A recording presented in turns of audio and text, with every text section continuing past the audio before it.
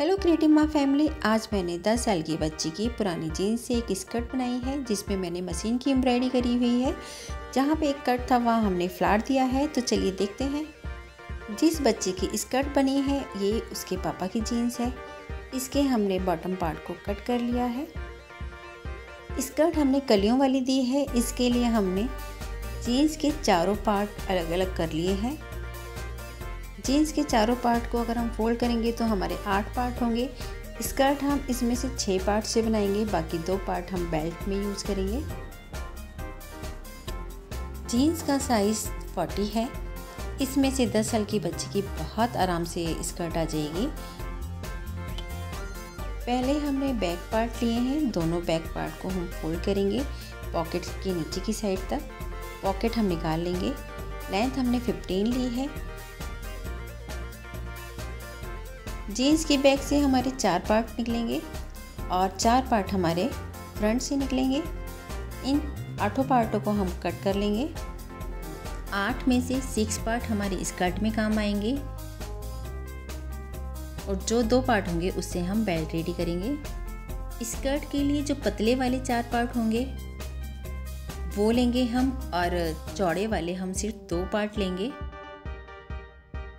ये स्कर्ट हमारी छः कलियों की बनेगी, तीन हमारे फ्रंट में आएँगी कलियाँ और तीन हमारे बैक साइड में आएँगी। जो चौड़े वाले पार्ट लिए थे हमने, उनको हम सेप दे के इक्वल करेंगे। अब हम छो पार्टों को फोल्ड कर लेंगे। दोनों पतले वाले पार्ट साइड में होंगे और सेंटर वाला पार्ट चौड़ा होगा।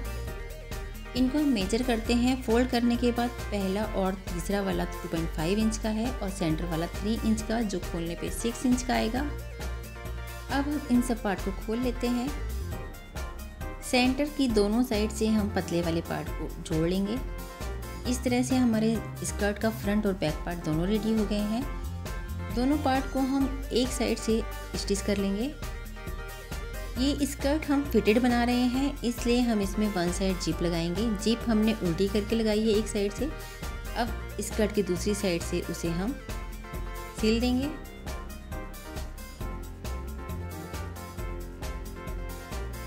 ये हमने इसमें जिप जोड़ दी है। जिप के एंड से एक इंच पहले से हम सिलाई लगा देंगे, जिससे कि स्कर्ट का पार्ट जुड़ जाएगा। स्कर्ट का घेर तैयार है। ये स्कर्ट हम फिटेड बनाने वाले हैं तो अब हम इसकी बेल्ट मेजर कर लेंगे।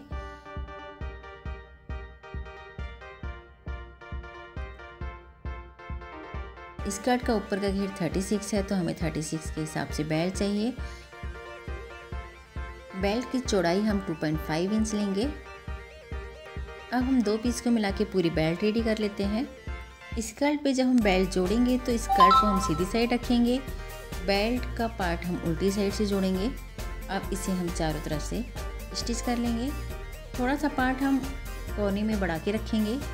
ये हमने बेल्ट को जोड़ लिया है। अब हम बेल्ट को सीधी करेंगे।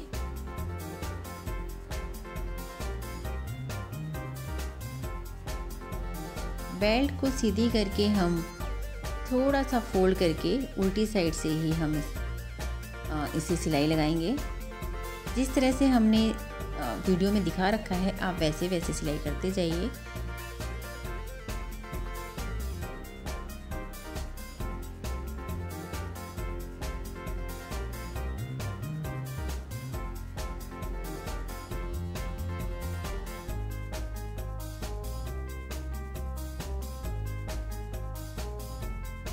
अब बेल्ट को फोल्ड करके हम इसके ऊपर स्टिच कर देंगे।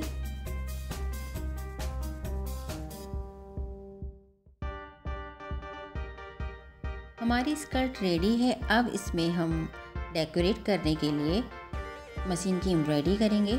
मेरे पास ऊषा जेनोम है, जिससे हम इस पर एम्ब्रॉयडरी करेंगे।